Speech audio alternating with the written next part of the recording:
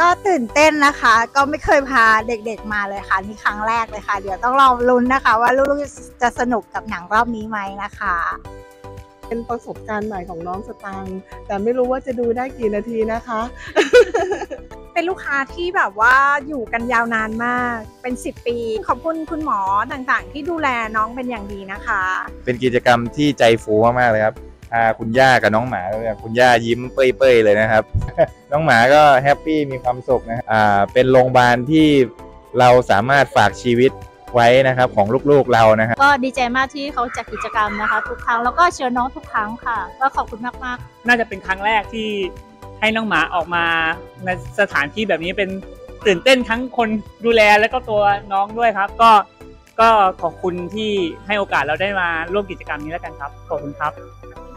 ก็ก็ดีใจค่ะ รู้สึกว่าเป็นลูกค้าคนสำคัญ ก็ดีดีใจค่ะที่ได้มา ก็ขอขอบคุณนะคะ ทางโรงพยาบาลทองหล่อค่ะ ที่น้องรักษาอยู่นะ ขอบคุณนะคะที่พาน้องมาเที่ยว ขอบคุณค่ะ